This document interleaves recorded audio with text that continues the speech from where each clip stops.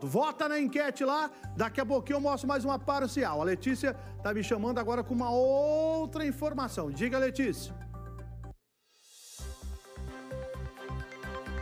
Salsicha, a Agência Nacional de Vigilância Sanitária retirou a obrigatoriedade do uso de máscaras em aeroportos e aviões.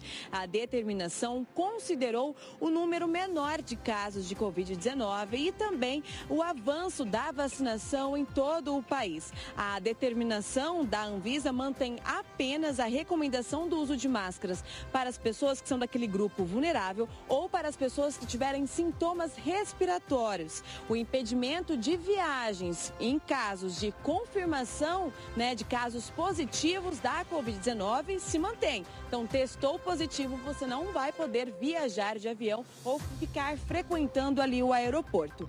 Outro detalhe, outras informações que eu trago também diretamente do aeroporto aqui, especificamente de Maringá. A partir do dia 26 deste mês, volta os voos para Congonhas, de segunda a sexta-feira. Além disso, segundo o prefeito de Maringá, Ulisses Maia, o município vai investir 70 milhões de reais em melhorias, com foco na segurança operacional e também no conforto dos passageiros, como a ampliação ali da sala de embarque e também terminal dos passageiros e também com instalação de elevadores e escadas rolantes. Salsicha, Tá aí então, diz que vai investir um dinheiro grande no aeroporto de Maringá, que é um aeroporto regional, né?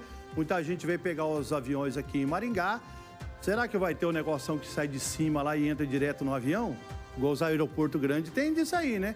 Nós tem que pegar e subir de escadinha lá embaixo. Se estiver chovendo, é tomar chuva e aí sobe lá a escadinha. Será que vai mudar com a reforma?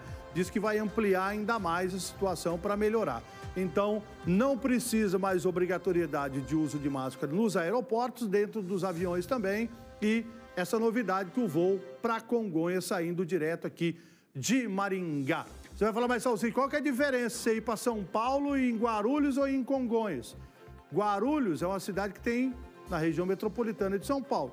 Você sair de Guarulhos para chegar até no centro de São Paulo, você leva o quê? Umas duas horas.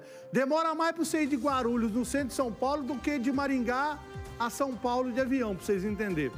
E Congonhas já fica no centro, daí é rapidinho para quem tem uma